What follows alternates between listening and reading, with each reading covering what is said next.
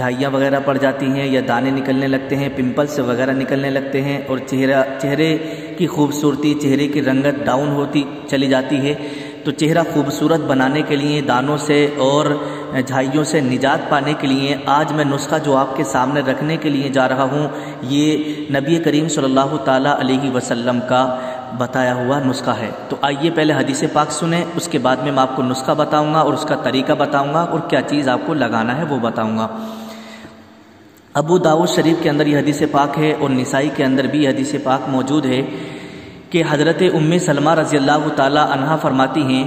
कि जब हज़रत अबू सलमा रज़ी अल्लाह तु का इंतकाल हुआ तो रसूलुल्लाह सल्लल्लाहु अलैहि वसल्लम मेरे पास तशरीफ़ लाए। मैंने उस वक्त अपने चेहरे पर एलवा लगा रखा था। तो आकाद आलम सल्लल्लाहु अलैहि वसल्लम ने फरमाया, उम्म सलमा, ये क्या चेहरे पर लगा रखा है? तो हज़रत उम सलमा अर्ज़ करती हैं, या रसोल्ला मैंने ये एलवा लगाया है। तो अकायद आलम सल्लल्लाहु अलैहि वसल्लम ने इशात फरमाया है, ये एलवा चेहरे को साफ़ और ख़ूबसूरत बनाता है। इसलिए अगर कभी भी आपको लगाना हो तो दिन में मत लगाना, रात को लगाकर सोया करो।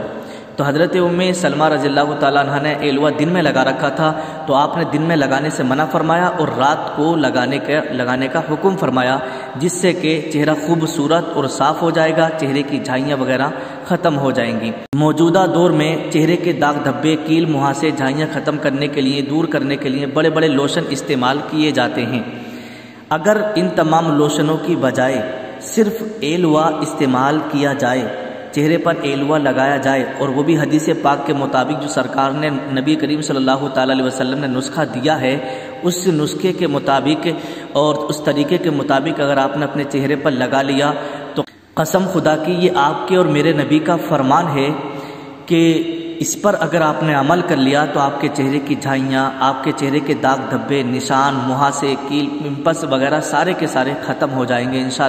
और आपका चेहरा खूबसूरत